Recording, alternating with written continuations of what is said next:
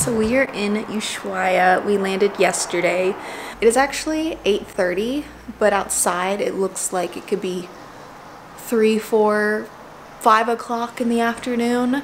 Yeah, yesterday we walked around downtown Ushuaia for a little bit. We ended up having to take a nap. Today, we pretty much did the same thing. Um, we went to go get these this giant king crab and continued walking around.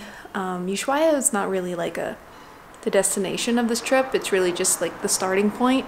So we just got back from um, dinner. We had like a little meeting and we met everyone, kind of went over what to expect, um, what's it gonna be like.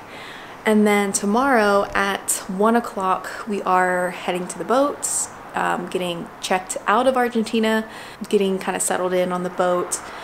And sometime around like three-ish, three, four o'clock p.m. tomorrow, we're going to head down the Beagle Channel and head towards Antarctica.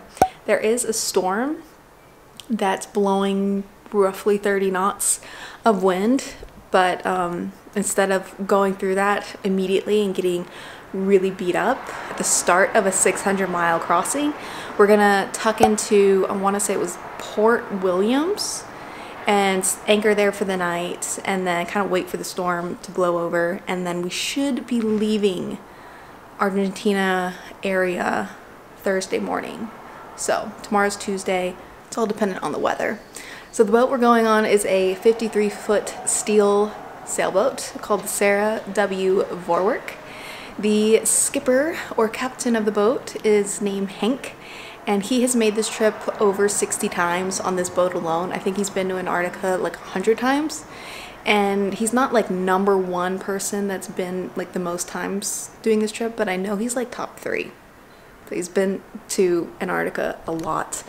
And he started sailing when he was 12 years old. So he has a ton of experience. Actually everyone on the boat is has a sailboat or is into sailing so it's kind of fun meeting everyone talking about sailboats and YouTube sailing channels like Atticus so there's a couple from New York a guy from England, a guy from Alaska. Yeah, so I don't really know where we're going exactly other than Port Williams tomorrow. Um, other than that, it's just kind of where the weather's good, where the crew all want to go, what we're feeling like. I know that we're going to be on land quite a bit. And Laurent previously was on a cruise ship and he said like most of the time when you get on land there's like four crew members and they're kind of marking like your boundary of where you can go He's like, that's not the same for you. Go wherever you want, go in pairs, preferably stay within view of the boat, but like other than that, like roam around, do your own thing. Like if you want a guide, I'll guide you. If you want some photography tips, I'll give you some tips. But other than that, this is your trip. Do with it what you can, do with it what you want, and yeah. One thing I think is funny is they brought a hundred bottles of wine on the boat. Just red wine. 100 bottles of red wine for nine people. Oh, I should probably say this. It's 21 days long. Um, I assume I probably won't have cell service tomorrow. I know that we're doing the polar plunge, which is you jump off the boat into the Antarctic waters. I know that there's a Zodiac or a dinghy on board. Um, I know that there's, I think there's snowshoes. If not, then it's just like walking around. I don't know. We're just going to Antarctica and we're gonna see whatever it is there is to see and we're gonna do as much as we can to do. And maybe on the way back, depending on weather, we could possibly go to Cape Horn, which would be really interesting. But technically that's in Chile. So we'd have to like go through like, I don't know, customs or something like that on a boat. This is a unique experience. Um, Right now I'm looking at a cruise ship and a cruise ship is more comfortable, but comfort's not exciting. this is more of an adventure, an experience. I know that it's not gonna be comfortable.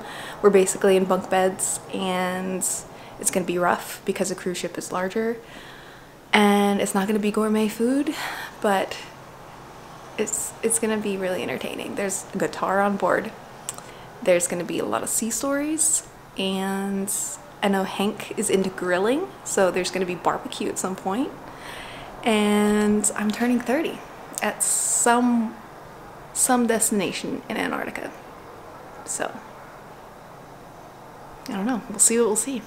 Here is the view from my room. You can see that there is a cruise ship, giant one right there. There's a, I'm not sure if that's like a research boat or something, and I think the red one next to it is a fishing boat. Over there is the Argentine Navy, and behind the cruise ship there's another, hmm, it looks like a cargo ship. Can't really tell. But there's the port here is the street view of where we're at. Weather is about 50, 40, 50 degrees, and it's about 9 p.m. right now. And this is how bright it is. And then here is a quick little room tour. Um, because we're going on a sailboat, we obviously didn't have a whole lot of room to bring stuff, so we each have one bag there's like, I have this one duffel bag with everything in it, and then my backpack that has 30 pounds of stuff. This thing is, I may have brought an extensive amount of camera stuff. It might be a little ridiculous. The amount of batteries that I have is kind of stupid. I re fully regret how much I brought. A little bit of a charging station, making sure everything's good to go. And then here is the very messy bathroom. Not a great tour, nothing fancy, but here it is. Going to Antarctica. Finally going to Antarctica.